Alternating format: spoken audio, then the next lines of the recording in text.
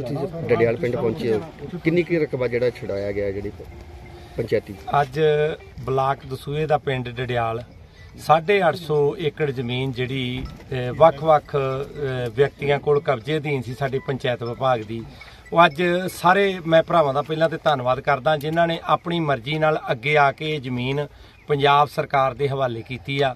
ਤੇ ਮੈਂ ਪੂਰੇ ਪੰਜਾਬ ਦੇ ਵਿੱਚ ਇਹ ਅਪੀਲ ਕਰਦਾ ਕਿ ਜਿਵੇਂ ਪਿੰਡ ਡਡਿਆਲ ਦੇ ਲੋਕ ਅੱਗੇ ਆਏ ਆ ਵੱਡੀ ਗਿਣਤੀ ਦੇ ਵਿੱਚ 850 ਏਕੜ ਜ਼ਮੀਨ ਜਿਹੜੀ ਅੱਜ ਪੰਚਾਇਤ ਵਿਭਾਗ ਦੇ ਅਧੀਨ ਇਹਨਾਂ ਨੇ ਛੱਡੀ। ਉਸੇ ਤਰ੍ਹਾਂ ਪੂਰੇ ਪੰਜਾਬ ਦੇ ਵਿੱਚ ਬੜਾ ਲੰਮਾ ਸਮਾਂ ਆਮਦਨ ਖਾਲੀ ਆ। ਪੰਜਾਬ ਦੇ ਜਿੰਨੇ ਵੀ ਕਿਸਾਨ ਵੀਰ ਕਾਬਜ ਕਰ ਰਹੇ ਆ ਤੇ ਵੇਖੋ ਜਿਹੜੀ ਜ਼ਮੀਨ ਸਰਕਾਰ ਦੀ ਆ, ਉਹ ਪੰਜਾਬ ਦੇ ਲੋਕਾਂ ਦੀ ਜ਼ਮੀਨ ਆ। ਤੇ ਇਹ ਨਹੀਂ ਕਿ ਇੱਕ ਜਾਂ ਦੋ ਜਾਂ 10 ਵਿਅਕਤੀ ਪਿੰਡ ਦੇ ਵਿੱਚੋਂ ਪੂਰੇ ਪਿੰਡ ਦੀ ਜਿਹੜੀ ਆਬਾਦੀ ਕੋ 5000 ਆ 7000 ਆ 10000 ਆ, ਉਹਨਾਂ 10000 ਲੋਕਾਂ ਦੀ ਕੋ 5 7 10 ਬੰਦੇ ਜਿਹੜੀ ਜ਼ਮੀਨ ਉਹਦੀ ਆਮਦਨ ਖਾਦੀ ਜਾਣ।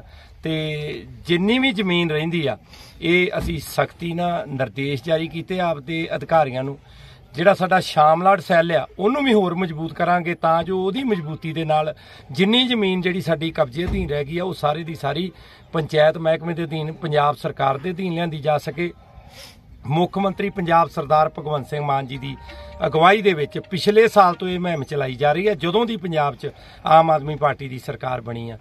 ਤੇ ਪਿਛਲੇ ਸਾਲ 9000 ਏਕੜ ਰਕਬਾ ਜਿਹੜਾ ਲੋਕਾਂ ਦੇ ਕਬਜ਼ਿਆਂ ਹੇਠੋਂ ਪੰਜਾਬ ਸਰਕਾਰ ਦੇ ਅਧੀਨ ਲੈਂਦਾ 31 ਮਈ ਤੱਕ 1300 ਏਕੜ ਦੇ ਕਰੀਬ ਜਿਹੜਾ ਰਕਬਾ ਸੀ, ਇਸ ਸਾਲ ਉਹ ਪੰਜਾਬ ਸਰਕਾਰ ਦੇ ਅਧੀਨ ਆਇਆ। ਤੇ ਅੱਜ 850 ਏਕੜ ਜਿਹੜਾ ਅੱਜ ਇੱਕੇ ਦੇਣੀ ਅੱਜ ਕਬਜ਼ਾ ਲਿਆ ਗਿਆ। ਪੰਜਾਬ ਸਰਕਾਰ ਦੇ ਅਧੀਨ ਇਹ ਰਕਬਾ ਆ ਤੇ ਇਹਦੇ ਤੋਂ ਪਹਿਲਾਂ ਲਗਭਗ 1 ਤਰੀਕ ਤੋਂ ਜਦੋਂ ਦਾ ਅ, ਦਾਸ ਨੇ ਵਿਭਾਗ ਸੰਭਾਲਿਆ 250 ਏਕੜ ਦੇ ਕਰੀਬ ਪਹਿਲਾਂ ਵੀ ਰੋਜ਼ ਹੀ ਸਾਡੇ ਅਧਿਕਾਰੀ ਵੱਖ-ਵੱਖ ਪਿੰਡਾਂ ਵੱਖ-ਵੱਖ ਬਲਾਕਾਂ ਦੇ ਵਿੱਚ ਜਾ ਕੇ ਜਿਹੜੀ ਆਪਦੀ ਕਾਰਵਾਈ ਉਹ ਕਰਦੇ ਰਹੇ ਆ ਤੇ 250 ਏਕੜ ਦੇ ਕਰੀਬ ਜ਼ਮੀਨ ਜਿਹੜੀ ਆ ਉਹ 1 ਤਰੀਕ ਤੋਂ ਲੈ ਕੇ ਕੱਲ ਤੱਕ ਜਿਹੜੀ ਸਾਡੀ ਪੰਜਾਬ ਸਰਕਾਰ ਦੇ ਅਧੀਨ ਆਈ ਆ ਤੇ ਜਿਵੇਂ ਮੁੱਖ ਮੰਤਰੀ ਸਾਹਿਬ ਸਰਦਾਰ ਭਗਵੰਤ ਸਿੰਘ ਮਾਨ ਜੀ ਨੇ ਕਿਹਾ ਕਿ ਜੇ ਤੇ ਆਪੇ ਜ਼ਮੀਨ ਛੱਡ ਦੇਣਗੇ ਤੇ ਕੋਈ ਉਹਨਾਂ ਤੇ ਕਾਰਵਾਈ ਨਹੀਂ ਹੋਵੇਗੀ ਕਿਸਾਨ ਜਿਹੜੇ ਕਬਜ਼ਾ ਧਾਰਕ ਨੇ।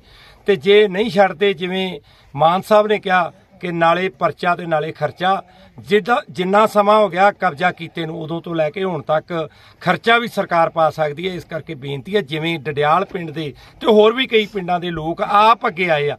ਇਹਨਾਂ ਲੋਕਾਂ ਨੇ ਇਹ ਕਿਹਾ, ਇਹ ਮੇਰੇ ਭਰਾ ਨੇ ਸਾਰੇ ਜਿਨ੍ਹਾਂ ਨੇ ਜ਼ਮੀਨਾਂ ਅੱਜ ਪੰਜਾਬ ਸਰਕਾਰ ਨੂੰ ਦਿੱਤੀਆਂ। ਤੇ ਇਹ ਖੁਦ ਕਹਿੰਦੇ ਆ ਕਿ ਵੇਖੋ, ਜੇ ਕਿਸੇ ਦਾ ਅਸੀਂ ਹੱਕ ਖਾਵਾਂਗੇ, ਭਾਵੇਂ ਸਰਕਾਰ ਦਾ ਤੇ ਭਾਵੇਂ ਕਿਸੇ ਵਿਅਕਤੀ ਦਾ, ਤੇ ਉਹਦਾ ਹੱਕ ਖਾਣ ਨਾਲ ਸਾਡੀ ਆਪਦੀ, ਇਹ ਆਪ ਕਹਿੰਦੇ ਆ ਕਿ ਸਾਡੀ ਆਪਦੀ ਜ਼ਮੀਨ ਦੇ ਵਿੱਚ ਵੀ ਬਰਕਤ ਨਹੀਂ ਰਹਿੰਦੀ ਰਹੀ। ਅਸੀਂ ਜੇ ਪੰਜਾਬ ਸਰਕਾਰ ਦੀ ਜ਼ਮੀਨ ਖਾਧੀ ਹੈ ਤੇ ਸਾਡੀ ਆਪਦੀ ਜ਼ਮੀਨ ਦੇ ਪੈਸੇ ਵੀ ਗਲਤ ਪਾਸੇ ਲੱਗਦੇ ਰਹੇ ਆ। ਭਾਵੇਂ ਉਹ ਕਿਸੇ ਪਾਸੇ ਖਰਚ ਹੋ ਗਏ ਜਾਂ ਮੁੰਡੇ ਨੇ ਗੱਡੀ ਲੈ ਲਈ, ਕੋਠੀ ਪਾਲੀ ਜਾਂ ਉਹ ਬਿਮਾਰੀ ਤੇ ਲੱਗੇ ਕਿ ਅਸੀਂ ਆਪਦੀ ਜ਼ਮੀਨ ਤੇ ਜਿਹੜੀ ਇਹ ਪੰਚਾਇਤੀ ਜ਼ਮੀਨ ਇਹਦੇ ਨਾਲ ਕੋਈ ਜਾਇਦਾਦ ਨਹੀਂ ਬਣਾਈ। ਇਹਦੇ ਨਾਲ ਕੋਈ ਅਸੀਂ ਸੁੱਖ ਦੀ ਰੋਟੀ ਨਹੀਂ ਖਾਧੀ। ਕਿਉਂਕਿ ਜਦੋਂ ਵੀ ਆਪਾਂ ਵੇਖਨੇ ਜਦੋਂ ਕੋਈ ਕਿਸੇ ਦਾ ਹੱਕ ਖਾਂਦਾ, ਇਹ ਸਾਰੀ ਜ਼ਮੀਨ ਪੰਜਾਬ ਦੇ ਲੋਕਾਂ ਦੀ, ਇਹ ਪੰਜਾਬ ਦੇ ਲੋਕਾਂ ਦਾ ਹੱਕ ਆ, ਜਿਹੜੀ ਇਹ ਜ਼ਮੀਨ ਹੈ, ਪੰਚਾਇਤੀ ਜ਼ਮੀਨ। ਮਤਲਬ ਕਈ ਜਗ੍ਹਾ ਦੇ ਉੱਤੇ ਜਿਹੜੀ ਪੰਚਾਇਤੀ ਜ਼ਮੀਨ ਉਹਦੇ ਤੇ ਕੋਠੀਆਂ ਬਣੀਆਂ, ਕਈਆਂ ਨੇ ਆਪਣਾ ਕਾਰੋਬਾਰ ਕੀਤਾ। ਹੈ, ਉਹ ਵੀ ਛਡਾਈਆਂ ਜਾਣਗੀਆਂ। ਵੇਖੋ ਪਹਿਲਾਂ ਤੇ ਮੁੱਖ ਮੰਤਰੀ ਸਾਹਿਬ ਦੇ ਆਦੇਸ਼ ਇਹੋ ਆ ਕਿ ਜਿਹੜੀਆਂ ਖਾਲੀ ਪਈਆਂ ਜ਼ਮੀਨਾਂ ਉਹ ਸਾਰੀਆਂ ਛਡਾਈਆਂ ਜਾਣ। ਬਾਕੀ ਜਿਵੇਂ ਮੁੱਖ ਮੰਤਰੀ ਸਾਹਿਬ ਦੇ ਨਿਰਦੇਸ਼ ਹੋਣਗੇ ਉਹਦੇ ਮੁਤਾਬਕ ਕੰਮ ਕੀਤਾ ਜਾਵੇਗਾ। ਤੇ ਹੁਣ ਗਾਂ ਅਸੀਂ ਹੋਰ ਵੀ ਸਖਤੀ ਵੱਧ ਕਰਾਂਗੇ ਤਾਂ ਜੋ ਜਿੰਨੀ ਵੀ ਪੰਚਾਇਤੀ ਜ਼ਮੀਨ ਹੈ ਸ਼ਾਮਲਾਟ ਜ਼ਮੀਨ ਹੈ ਪੰਜਾਬ ਸਰਕਾਰ ਦੀ ਕਿਸੇ ਵੀ ਤਰ੍ਹਾਂ ਦੀ ਜ਼ਮੀਨ ਹੈ ਉਹ ਸਾਰੀ ਪੰਜਾਬ ਸਰਕਾਰ ਦੇ ਅਧੀਨ ਲਿਆਂਦੀ ਜਾ ਸਕੇ। ਤੇ ਇਹ ਇਸ ਆਮਦਨ ਦੇ ਨਾਲ ਜਿਹੜਾ ਪੰਜਾਬ ਸਿਰ 3 ਲੱਖ ਕਰੋੜ ਰੁਪਈਆ ਕਰਜ਼ਾ ਜਿਹੜਾ ਪੁਰਾਣੀਆਂ ਰਵਾਇਤੀ ਪਾਰਟੀਆਂ ਨੇ ਚਾੜਿਆ ਉਹ ਸਾਰੇ ਦਾ ਸਾਰਾ ਲਾ ਸਕੀਏ ਤੇ ਪੰਜਾਬ ਦੇ ਲੋਕਾਂ ਨੂੰ ਜਿਹੜੀਆਂ ਸਹੂਲਤਾਂ ਪੰਜਾਬ ਦੇ ਵਿੱਚ ਜਿਵੇਂ ਬਿਜਲੀ ਫ੍ਰੀ ਆ ਮਹੱਲਾ ਕਲੀਨਿਕ ਖੋਲੇ ਆ ਸਕੂਲਾਂ ਦੇ ਵਿੱਚ ਟੀਚਰ ਪੂਰੇ ਕੀਤੇ ਆ ਬੱਚਿਆਂ ਲਈ ਵਰਦੀਆਂ ਕਿਤਾਬਾਂ ਹੋਰ ਕਈ ਤਰ੍ਹਾਂ ਦੀਆਂ ਜਿਹੜੀਆਂ ਸਹੂਲਤਾਂ ਉਹ ਪੰਜਾਬ ਦੇ ਲੋਕਾਂ ਨੂੰ ਦੇ ਸਕੀਏ। ਇਹ ਪੰਜਾਬ ਦੇ ਲੋਕਾਂ ਦੀ ਪ੍ਰਾਪਰਟੀ ਆ ਇਹ ਪੰਜਾਬ ਸਰਕਾਰ ਦੀ ਪ੍ਰਾਪਰਟੀ ਆ ਪੰਜਾਬ ਸਰਕਾਰ ਦੇ ਅਧੀਨ ਲਿਆਂਦੀ ਜਾਵੇ। ਸਰ ਇੱਕ ਬੀਤੀ ਬੀਤੇ ਦਿਨ ਇੱਕ 321 ਕਿੱਲਾ ਦਾ ਕਬਜ਼ਾ ਛਡਾਇਆ ਗਿਆ ਇੱਥੇ ਨਾਲ ਦੇ ਪਿੰਡ ਬਹਿ ਲੱਖਣ ਪੈਂਦਾ ਹੈ। ਸਰ ਉਹ ਕਬਜ਼ੇ ਤੋਂ ਛਡਾਉਣ ਤੋਂ ਬਾਅਦ ਤੀਸਰੇ ਦਿਨ ਦੁਬਾਰਾ ਹੀ ਪਿੰਡ ਵੱਲੋਂ- ਲੋਕਾਂ ਵੱਲੋਂ ਜਿਹੜੇ ਦੁਬਾਰਾ ਕਰ ਲਏ ਗਏ ਨੇ। ਜੇ ਕਿਸੇ ਨੇ ਦੁਬਾਰਾ ਕੋਈ ਕਬਜ਼ਾ ਕੀਤਾ ਉਹਦੇ ਤੇ ਬਕਾਇਦਾ ਕਾਨੂੰਨ ਅਨਸਾਰ ਜੋ ਵੀ ਕਾਰਵਾਈ ਬੰਦੀ ਹੋਵੇਗੀ ਉਹ ਕਾਰਵਾਈ ਕੀਤੀ ਜਾਵੇਗੀ ਤੇ ਉਹ ਜ਼ਮੀਨ ਛਡਾ ਕੇ ਫਿਰ ਉਹਦੀ ਬੋਲੀ ਸਰ ਕਰਾਈ ਮੌਜੂਦਾ ਜਾਵੇਗੀ ਸਰਪੰਚਾਂ ਤੋਂ ਵੀ ਹੈਗਾ ਤਾਂ ਉਹਨਾਂ ਨੇ ਮੰਨਿਆ ਵੀ ਹੈਗਾ ਕਿ ਸਾਡੇ ਕੋਲ ਜ਼ਮੀਨ ਆ ਅਸੀਂ ਇਦਾਂ ਨਹੀਂ ਛੱਡਾਂਗੇ ਸਾਡੇ ਪੁਰਾਣੇ ਕਬਜ਼ੇ ਨੇ ਉਹਨਾਂ ਨੂੰ ਸਰ ਉਹਨਾਂ ਤੇ ਕੀ ਕਾਰਵਾਈ ਹੋਵੇਗੀ ਸਰਪੰਚ ਵੀ ਸਸਪੈਂਡ ਹੋਣਗੇ ਜਿਹੜਾ ਸਰਪੰਚ ਖੁਦ ਸਰਕਾਰ ਦੀ ਜ਼ਮੀਨ ਮਲਦਾ, ਉਹ ਸਰਪੰਚ ਰਹਿਣ ਦੇ ਕਾਬਿਲ ਨਹੀਂ, ਉਹ ਸਰਪੰਚ ਤੇ ਕਾਰਵਾਈ ਕਰਕੇ ਸਸਪੈਂਡ ਕੀਤਾ ਜਾਵੇਗਾ। ਬੁੱਲਰ ਸਾਹਿਬ, ਕੀ ਕਾਰਨ ਹੋਇਆ ਕਿ ਜਿਹੜਾ ਤੁਹਾਡੇ ਪੁਰਾਣਾ ਪੋਰਟਫੋਲੀਓ ਜਿਹਨਾਂ ਕੋਲ ਮਹਿਕਮਾ ਸੀਗਾ, ਉਸ ਪੋਰਟਫੋਲੀਓ ਦੇ ਅਧੀਨ ਜਿਹੜਾ ਸ਼ਿਵਾਲਿਕ ਹਿਲਸ ਦੇ ਉੱਤੇ ਚੰਡੀਗੜ੍ਹ ਤੇ ਸਰਦਾਰ ਸਿਮਰਨਜੀਤ ਸਿੰਘ ਮਾਨ ਦੇ ਬੇਟੇ ਦਾ ਕਬਜ਼ਾ ਜਿਹੜਾ ਕਿਹਾ ਗਿਆ ਸੀ, ਜਦੋਂ ਮੁੱਖ ਮੰਤਰੀ ਸਾਹਿਬ ਛਡਾਣ ਗਏ ਸੀ, ਉਹ ਹਾਈ ਕੋਰਟ ਵੱਲੋਂ ਉਸੇ ਵੇਲੇ ਇਹ ਟਿੱਪਣੀ ਕਰਕੇ ਸਟੇ ਕਰ ਦਿੱਤਾ ਗਿਆ ਕਿ ਮਹਿਕਮੇ ਵੱਲੋਂ ਪੂਰੀ ਤੌਰ ਦੇ ਉੱਤੇ ਉਹਦਾ ਫੌਰੀ ਜਿਹੜਾ ਕਾਰਵਾਈ ਕਰਨੀ ਸੀ, ਉਹ ਨਹੀਂ ਕਰ ਸਕੀ। ਅਗਰ ਇਨ ਫਿਊਚਰ ਵੀ ਇਸ ਮਹਿਕਮੇ ਵੱਲੋਂ ਕੋਈ ਕਬਜ਼ਾ ਛਡਾਇਆ ਜਾਂਦਾ ਹੈ ਤੇ ਉਹਨੂੰ ਕੋਰਟ ਵੱਲੋਂ ਰਾਹਤ ਮਿਲ ਜਾਂਦੀ ਹੈ, ਤੇ ਉਹਦੇ ਬਾਰੇ ਮਹਿਕਮੇ ਨੇ ਹੁਣ ਤੱਕ ਦੀ ਉਹਦੀ ਸੂਚੀ ਕੀ ਹੈ? ਦੇਖੋ ਇਹਦੇ ਵਿੱਚ ਨਾ ਜਿਹੜਾ ਕੋਈ ਸਟੇ ਮਿਲਦਾ ਪੰਚਾਇਤੀ ਜ਼ਮੀਨ ਤੇ ਜਾਂ ਸ਼ਾਮਲਾਟ ਜ਼ਮੀਨ ਤੇ, ਕਿਤੇ ਨਾ ਕਿਤੇ ਸਾਡੇ ਜਿਹੜੇ ਥੱਲੜੇ ਪੱਧਰ ਦੇ ਅਧਿਕਾਰੀ ਉਹ ਰਲੇ ਹੁੰਦੇ ਆ। ਉਹਨਾਂ ਵੱਲੋਂ ਰਿਕਾਰਡ ਜਿਹੜਾ ਉਹ ਗਾਇਬ ਕੀਤਾ ਗਿਆ ਹੁੰਦਾ।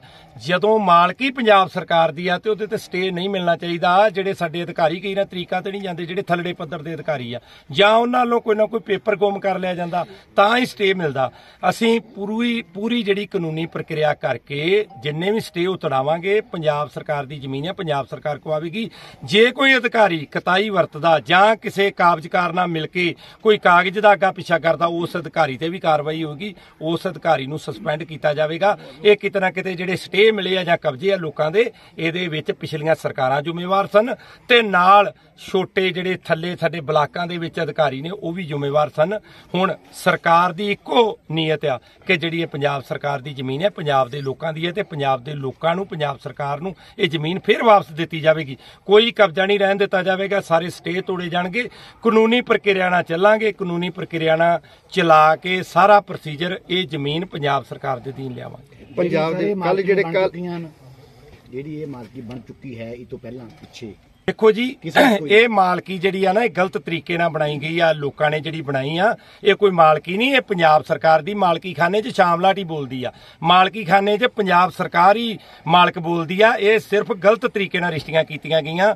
ਮੈਂ ਤੇ ਪਹਿਲਾਂ ਹੀ ਤੁਹਾਨੂੰ ਦੱਸ ਦਿੱਤਾ ਕਿ ਕਿਤੇ ਨਾ ਕਿਤੇ ਸਾਡੇ ਜਿਹੜੇ ਥੱਲੜੇ ਪੱਧਰ ਤੇ ਬਲਾਕਾਂ ਦੇ ਵਿੱਚ ਅਧਿਕਾਰੀ ਬੈਠੇ ਆ ਉਹ ਨਾਲ ਰਲ ਮਿਲ ਕੇ ਉਹਨਾਂ ਨਾਲ ਕੰਮ ਕੀਤੇ ਗਏ ਆ। ਇਹ ਰਿਸ਼ਤੀਆਂ ਕੋਈ ਰੀਜਨਲ ਰਿਸ਼ਤੀਆਂ ਨਹੀਂ ਗੀਆਂ ਤਹਿਸੀਲਦਾਰਾਂ ਨੇ ਬਹਿ ਕੇ ਤਹਿਸੀਲਾਂ ਦੇ ਵਿੱਚ ਜੋ ਪੇਪਰ ਵੇਖੇ ਕਿਤੇ ਨਾ ਕਿਤੇ ਉਹ ਜਿਹੜੇ ਪਟਵਾਰੀ ਜਾਂ ਉਹ ਕਾਨੂੰਗੋ ਇਹ ਜ਼ਿੰਮੇਵਾਰ ਨੇ ਸਾਰੇ ਅਧਿਕਾਰੀ, ਇਹ ਰਿਸ਼ਤੀਆਂ ਜਿਹੜੀਆਂ ਤੋੜ ਕੇ, ਸਟੇ ਤੋੜ ਕੇ ਪੰਜਾਬ ਸਰਕਾਰ ਦੇ ਅਧੀਨ ਬੜਾ ਵੇਖੋ, ਬੜਾ ਚਿਰ ਖਾ ਲੀਆਂ ਇਹ ਜ਼ਮੀਨਾਂ ਥੋੜਾ ਚਿਰ ਖਾ ਲੀਆਂ 1947 ਤੋਂ ਲੈ ਕੇ ਅੱਜ ਤੱਕ, ਅੱਜ 2023 ਚੜ ਗਿਆ। ਇਹ ਲਗਭਗ 75 76 ਸਾਲ ਹੋ ਗਿਆ ਲੋਕਾਂ ਨੇ ਫ੍ਰੀ ਦੇ ਵਿੱਚ ਇਹ ਜ਼ਮੀਨਾਂ ਵਾਲੀਆਂ। ਹੁਣ ਤੇ ਲੋਕਾਂ ਨੂੰ ਆਪ ਚਾਹੀਦਾ ਕਿ ਅੱਗੇ ਆਉਣ। ਅੱਗੇ ਆ ਕੇ ਜ਼ਮੀਨਾਂ ਛੱਡਣਾ ਅੱਜ 850 ਏਕੜ ਡਡਿਆਲ ਪਿੰਡ ਦੇ ਲੋਕਾਂ ਨੇ ਛੱਡੀ ਆ। ਆਪ ਖੁਦ ਕਹਿ ਰਹੇ ਆ ਕਿ ਜ਼ਮੀਨ ਪੰਜਾਬ ਸਰਕਾਰ ਦੀ ਅਸੀਂ ਬੋਲੀ ਤੇ ਲਵਾਂਗੇ।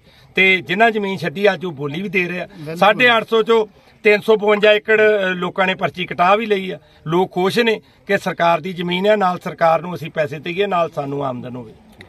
ਕੱਲ ਕੱਲ ਕਿਸਾਨਾਂ ਦੇ ਉੱਤੇ ਜਿਹੜੇ ਧਰਨੇ ਦੇ ਵਿੱਚ ਜ਼ਬਰਦਸਤੀ ਉਠਾਇਆ ਗਿਆ ਸੀ ਉਹਦੇ ਬਾਰੇ ਕੀ ਕਹਿਣਾ ਚਾਹੁੰਦੇ ਹੋ? ਦੇਖੋ ਕਿਸਾਨ ਸਾਡੇ ਭਰਾ ਨੇ ਮੈਂ ਖੁਦ ਕਿਸਾਨ ਆ ਪੋਲੀਟੀਸ਼ੀਅਨ ਸਿਆਸਤ ਤੋਂ ਪਹਿਲਾਂ ਅਸੀਂ ਕਿਸਾਨ ਆ।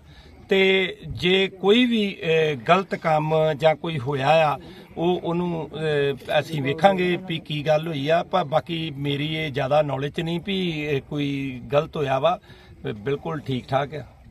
ਸਰ ਮੰਤਰੀ ਸਾਹਿਬ ਇੱਕ ਸਵਾਲ ਹੈ ਆਖਰੀ। ਕੀਤੇ ਤੁਹਾਡੇ ਵੱਲੋਂ ਪਹਿਲੇ ਕਾਰਵਾਈ ਕੀਤੀ ਗਈ ਸੀ ਜਿਹੜੀ ਜਿਹੜੀ ਬੱਸਾਂ ਚੱਲਦੀਆਂ ਸੀ ਹਿਮਾਚਲ ਦੀਆਂ ਬਿਨਾਂ ਪਰਮਿਟ ਤੋਂ ਉਹਨਾਂ ਤੇ ਕਾਰਵਾਈ ਕੀਤੀ ਗਈ ਸੀ। ਪਰ ਪੰਜਾਬ ਦੀਆਂ ਕੁਝ ਮਿੰਨੀ ਬੱਸਾਂ ਜਿਹੜੀਆਂ ਓਵਰਲੋਡ ਹੋ ਕੇ ਜਾਂਦੀਆਂ ਸਕੂਲੀ ਬੱਚੇ ਉਹਨਾਂ ਦੇ ਉੱਪਰ ਅਕਸਰ ਜਿਹੜੇ ਜਿਹੜਾ ਐਕਸੀਡੈਂਟ ਵੀ ਆਏ ਦਿਨ ਹੁੰਦੇ ਤੇ ਉਹਨਾਂ ਤੇ ਕੀ ਕਾਰਵਾਈ ਸਰ ਆਉਣਾ? ਸਕੂਲੀ ਜਿਹੜੀਆਂ ਬੱਸਾਂ ਸਾਡੇ ਆਰਟੀਏ ਨਾਲ ਸਾਡੇ ਐਸਡੀਐਮ ਦਫ਼ਤਰ ਆ ਜਿੰਨੇ ਵੀ ਉਹਨਾਂ ਵੱਲੋਂ ਚੈੱਕ ਕੀਤੀਆਂ ਜਾਂਦੀਆਂ। ਜਿਨ੍ਹਾਂ ਬੱਸਾਂ ਦੇ ਪੇਪਰ ਪੂਰੇ ਨਹੀਂ ਹੁੰਦੇ ਉਹਨਾਂ ਬੱਸਾਂ ਨੂੰ ਪੱਕੇ ਤੌਰ ਤੇ ਬੰਦ ਕੀਤਾ ਜਾਵੇਗਾ। ਸਕੂਲਾਂ ਵਾਲਿਆਂ ਨੇ ਕੁਝ ਸਮਾਂ ਲਿਆ ਸੀ ਸਾਡੇ ਕੋਲ ਕਿ ਅਸੀਂ ਇਹਨਾਂ ਬੱਸ ਮਾਲਕਾਂ ਨੂੰ ਕਹਿ ਕੇ ਬੱਸਾਂ ਦੇ ਪੇਪਰ ਪੂਰੇ ਕਰਾ ਲੈਨੇ ਆ ਜੇ ਬੱਸਾਂ ਜਿਆਦੀਆਂ ਪੁਰਾਣੀਆਂ ਹੋ ਗਈਆਂ ਤੇ ਅਸੀਂ ਨਵੀਆਂ ਪਵਾ ਦਿੰਨੇ ਆ ਹੁਣ ਉਹ ਸਮਾਂ ਲੰਘ ਗਿਆ ਹੈ। ਵੇਖੋ ਸਾਨੂੰ ਸਭ ਤੋਂ ਪਹਿਲਾਂ ਆਪਦੇ ਬੱਚਿਆਂ ਦੀ ਜਿਹੜੀ ਸੁਰੱਖਿਆ ਉਹ ਜ਼ਰੂਰੀ ਆ। ਜਿਹੜੇ ਸਕੂਲਾਂ ਦੀਆਂ ਬੱਸਾਂ ਜਿਹੜੀਆਂ ਖਸਤਾ ਹਾਲਤ ਨੇ ਉਹ ਬੱਸਾਂ ਬੰਦ ਕੀਤੀਆਂ ਜਾਣਗੀਆਂ। ਤੇ ਜੁਰਮਾਨੇ ਵੀ ਲਾਏ ਜਾਣਗੇ ਉਹਨਾਂ ਪ੍ਰਾਈਵੇਟ ਮਾਲਕ ਚਲਾ ਰਹੇ ਨੇ ਬੱਸਾਂ ਸਰ ਪ੍ਰਾਈਵੇਟ ਜਿਹੜੀਆਂ ਬੱਸਾਂ ਚੱਲ ਰਹੀਆਂ ਉਹ ਸਕੂਲੀ ਬੱਚਿਆਂ ਨੂੰ ਜਦੋਂ ਢੋਂਦੇ ਨੇ ਤੇ ਪਿੱਛੇ ਲੜਕੇ ਹੁੰਦੇ ਨੇ ਛੱਤਾਂ ਦੇ ਉੱਪਰ ਬੈਠੇ ਨੇ ਉਹਨਾਂ ਤੇ ਕਾਰਵਾਈ ਨਹੀਂ ਸਰ ਆਰਟੀਓ ਸਾਹਿਬ ਦੁਆਰਾ ਪਹਿਲੇ ਕਈ ਵਾਰ ਉਹਨਾਂ ਦਾ ਇਹ ਅਪਰੋਚ ਕੀਤੀ ਉਹਨਾਂ ਵੱਲੋਂ ਕੋਈ ਕਾਰਵਾਈ ਨਹੀਂ ਕੀਤੀ ਗਈ ਉਹਨਾਂ ਤੇ। ਜੇ ਕੋਈ ਓਵਰਲੋਡ ਬੱਸਾਂ ਚੱਲਦੀਆਂ ਤੇ ਉਹਨਾਂ ਦੀ ਚੈਕਿੰਗ ਆਰਟੀਏ ਸਾਹਿਬ ਕਰਨਗੇ ਉਹਨਾਂ ਦੇ ਚਲਾਨ ਵੀ ਕੀਤੇ ਜਾਣਗੇ ਤੇ ਜੇ ਉਹ ਵਾਰ-ਵਾਰ ਚਲਾਨ ਤੋਂ ਬਾਅਦ ਨਹੀਂ ਹਟਦੇ ਤਿੰਨ ਵਾਰ ਦੇ ਚਲਾਨ ਤੋਂ ਬਾਅਦ ਉਹ ਪੱਕੀਆਂ ਇੰਪਾਊਂਡ ਕੀਤੀਆਂ ਜਾਣਗੀਆਂ। ਜੀ ਸਰ ਇੱਕ ਮਿੰਟ ਇੱਕ ਫੋਟੋ